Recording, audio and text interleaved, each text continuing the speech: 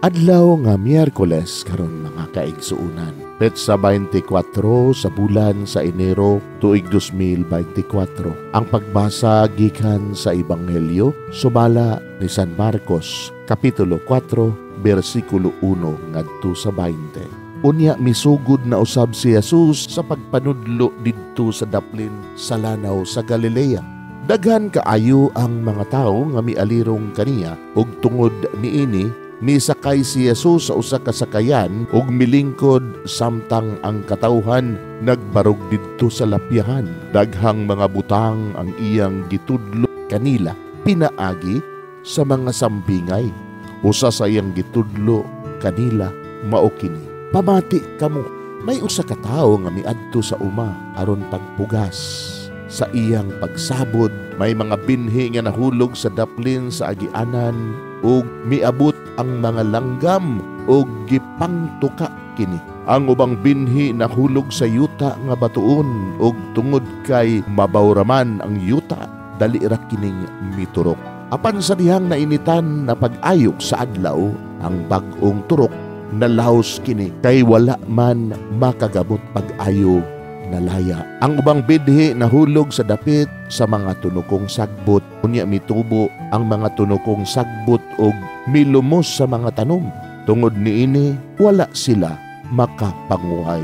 Apan may mga binhi nga nahulog sa maayong yuta ug miturok, mitubo ug namunga. May nanguhay og tag 30, ang uban tag 60, ug ang uban tag usa ka gatos. Ug unya miingon si Jesus, kung doon na kamoy dalunggan pamati. Sa nag-inusaran ni si Jesus, pipila ni Adtong nakabati sa iyang pagpanudlo miduol kaniya, uban sa napulog duha katinunan og mihangyo kaniya sa paghatag og katinawan ni Adtong mga sambingay. Si Jesus mitubag, gipadayag na sa Dios kaninyo ang mga tinago sa iyang gingharian apan alang sa uban nga anaa sa gawas ang kamatuuran gipadayag ingon sa mga sambingay.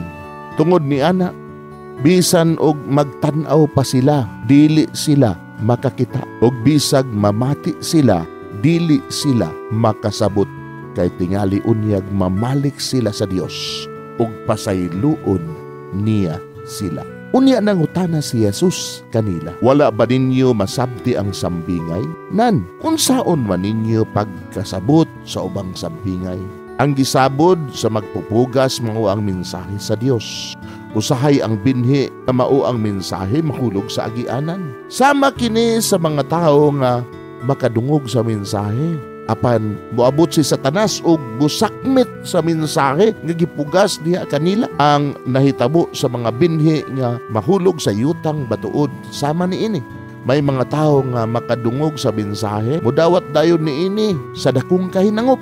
Apan dili kini makagamot diha kanila. Busa dili sila mupadayon Unya pag-abot ka sa mga kalisdanan ug mga paglutos tungod sa mensahe, mubiya dayon sila ang ubang tao sama sa binhi nga gipugas sa dapit sa mga tunukong sagbot. Mao kini sila ang makadungog sa mensahe. Apan ang mga kabalaka niining kinabuhia ang gugma sa bahandi ug ang nagkalain-laing matang sa mga pangandoy.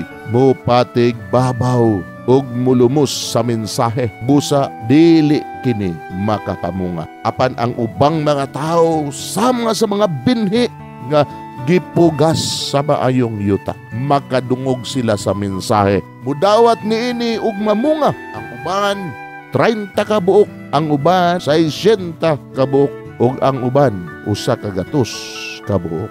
Mga igsuon ang ebanghelyo sa Ginoo. Daygon ikaw o Kristo.